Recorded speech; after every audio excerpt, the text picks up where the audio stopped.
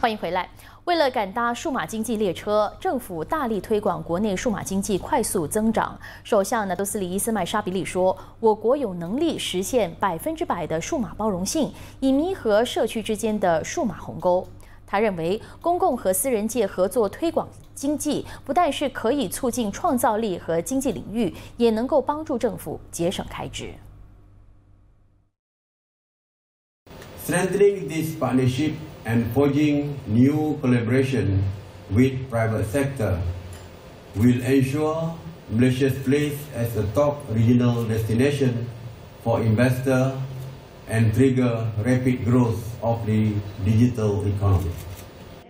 首相今天为华为顾客解决方案创新中心主持推介理事指出，在第十二大马计划下，国家未来五年的发展策略将会专注于促进数码经济，尤其在技术和创新领域的推动。预计到了二零二五年，国内的数码经济将占国内生产总值的百分之二十五点五。为了履行企业社会责任，华为大马将会协助我国政府达至全面的数码包容性。通过制造大量的就业机会，加强大马一家精神。